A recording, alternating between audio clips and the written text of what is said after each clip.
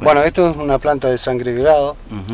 Esto es considerado, vamos a decir, una planta muy eh, tradicional en la zona de, México. Utiliza mucho para extraer, vamos a decir, la, savia para producir eh, medicamentos.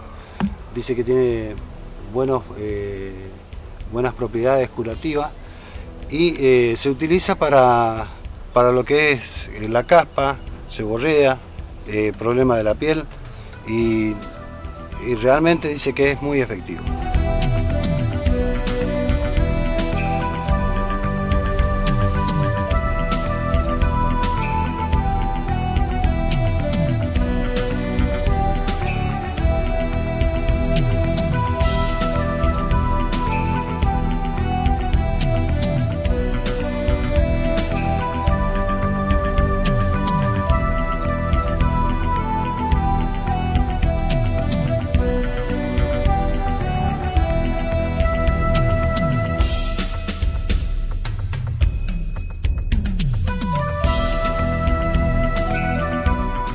El hábitat salvaje, ellos fueron sustraídos, por ejemplo en el caso del perjuicio, que es el, macho, y fue criado en un, ámbito familiar.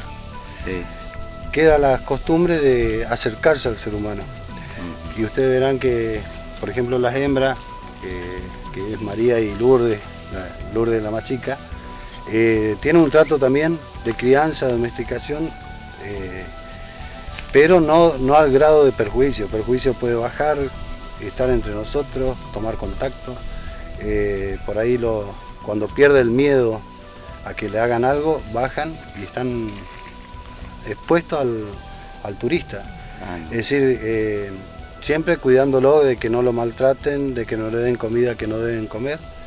Nosotros en reiteradas oportunidades en el día le damos eh, frutas, conseguimos eh, todas clases de comida para que ellos se sientan atraídos y no, se, no emigren a otro lado. Eh, esta es una familia joven, recién formada, así que tiene dos hembras y pronto va a dar a luz.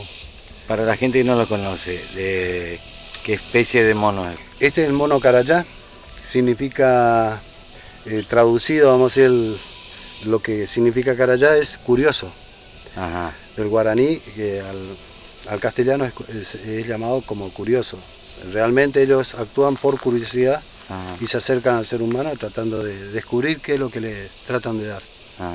O si no, mono aullador, ¿no? Sí, también el mono, el mono aullador.